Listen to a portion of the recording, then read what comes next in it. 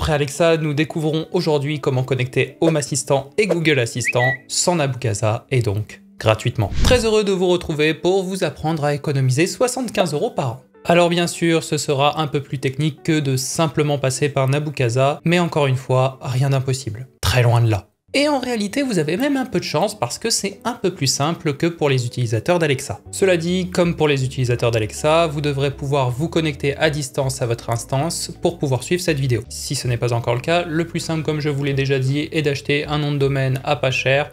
Le point OVH chez OVH est justement pas cher du tout, je crois, c'est aux alentours de 3-4 euros et de le connecter avec Cloudflare Nous avons vu ça dans l'épisode numéro 3. Pas grand chose à voir avec la partie tutoriel, mais simple petite question curiosité de ma part. Dites-moi en commentaire pourquoi vous avez choisi Google Assistant plutôt qu'Alexa. Et si vous êtes plutôt utilisateur d'Alexa, bah euh, bienvenue sur cette vidéo même si c'est bizarre, bah dites-moi pourquoi vous avez choisi Alexa plutôt que Google Assistant. Bon, vous avez votre accès à distance, voyons comment connecter Google Assistant. La première chose à faire, ça va être de vous rendre sur la console d'action de Google. Pour ça, on va taper Google Action Console.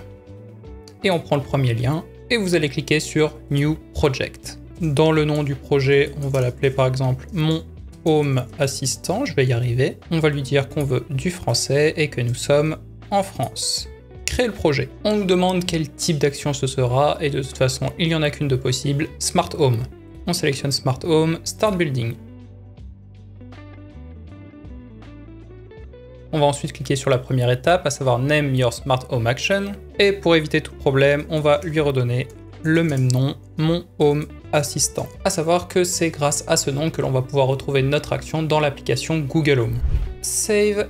On nous signale que c'est bon, on va pouvoir passer à la suite dans Action. La seule chose ici que vous allez avoir à toucher, c'est le Fulfillment URL, et pour ça c'est très simple. Vous allez prendre l'URL de votre instance, vous allez le copier-coller, et ici, vous allez rajouter API slash Google Assistant avec un underscore entre Google et Assistant. Ensuite, vous sauvegardez à nouveau. On attend la fin des opérations. On nous signale que tout s'est bien déroulé. Parfait. On peut passer à l'étape suivante, Icon Linking. Dans le Client ID, c'est un petit peu particulier. HTTPS au du 6 redirect usercontent.com slash r slash et ici l'identifiant de votre projet Google Action. L'identifiant, il se trouve juste dans votre URL, juste ici. Donc après le project slash. Donc vous le sélectionnez, copier, coller juste après. ça devrait vous donner quelque chose comme ça. Le client secret, bah, vous tapez n'importe quoi parce qu'il n'est pas utilisé par Home Assistant et on en vient à l'URL d'autorisation. Là encore, l'URL d'autorisation commence par votre adresse URL pour accéder à votre instance, donc copier, coller, et ici ce sera slash auth slash authorize. Et pour l'URL du token, eh c'est exactement la même chose, slash auth, sauf que ici, à la place de authorize, c'est slash token. Next. Ici, on ne modifie rien, next. Dans scope, nous allons en ajouter deux, à savoir email, add scope et name à nouveau Next, et on peut sauvegarder. On nous signale que tout s'est bien déroulé, sim, et on clique sur Test pour lancer une version de test que l'on va ensuite sélectionner dans notre application Google Home. On nous indique que les tests sont bien lancés, on peut passer à la suite. Nous allons maintenant accéder à la console, non pas Action, mais Cloud de Google on clique dessus. En haut, vous allez cliquer sur sélectionner un projet. Si votre projet n'apparaît pas, cliquez sur tous et venez sélectionner votre projet créé juste avant. Maintenant que nous avons notre projet, nous allons cliquer sur le menu de navigation tout en haut à gauche, aller dans API et services, identifiant.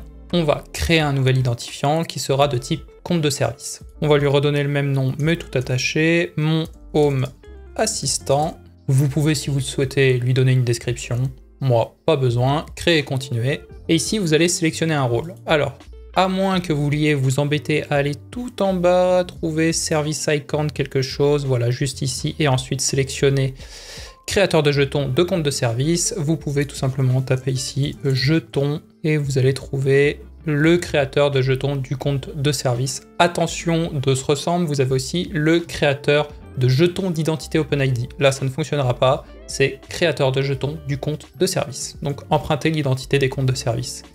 On clique dessus, continuer, ok.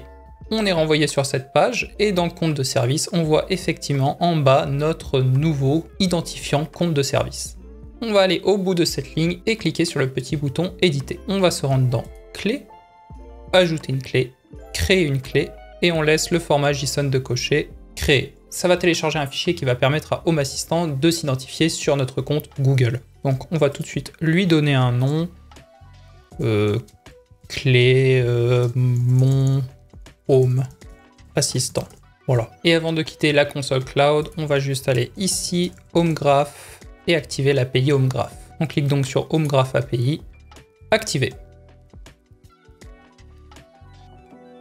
Et c'est tout, pas besoin de plus, on peut maintenant se rendre dans Home Assistant, Studio Code Server, et comme d'habitude, configuration.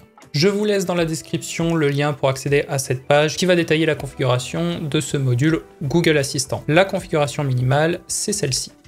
On va copier, aller en bas de notre configuration et coller. Vous voyez ici que l'on doit ajouter le project ID.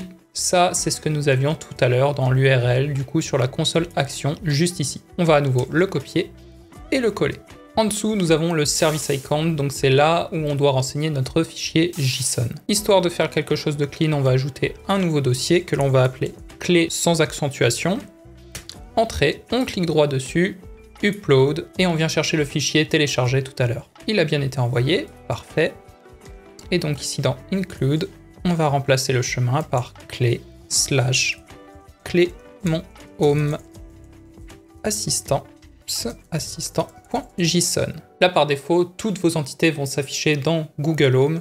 Si vous ne voulez pas ça, vous pouvez tout simplement rajouter exposed domains suivi des différents domaines que vous voulez exposer. Donc typiquement sensor, les switch et les lights. Espace à chaque fois après le tiret. CTRL S, outil de développement, on vérifie que notre configuration est bonne. C'est le cas et si c'est bien le cas, on peut redémarrer redémarrer Home Assistant, redémarrer. Après avoir fait tout ça, vous pouvez enfin vous diriger vers votre application Google Home et dans Appareil, ajouter un appareil. Ici, vous allez sélectionner Fonctionne avec Google Home et vous allez pouvoir rechercher le nom de l'action que nous avons entré tout à l'heure. Donc dans mon cas, c'est mon Home Assistant. Je le sélectionne, associer un compte pour contrôler mon Home Assistant sur vos appareils. Oui, continuez. On est donc renvoyé vers notre instance, on va se connecter se connecter. On a l'association qui est en train de se faire, on revient en arrière et on voit que effectivement nos entités Home Assistant sont présentes sur Google Home. Vous pouvez donc les contrôler, que ce soit donc via votre application ou via la voix si vous avez des appareils avec vos appareils Google Assistant. Et pour lier Google Assistant à votre Home Assistant, c'est fini, rien de plus. J'espère que cette vidéo vous aura été utile. Si c'est le cas, n'hésitez pas à lâcher un petit like, ça aide énormément la chaîne. Et nous, en attendant, on se retrouve à la prochaine. Ciao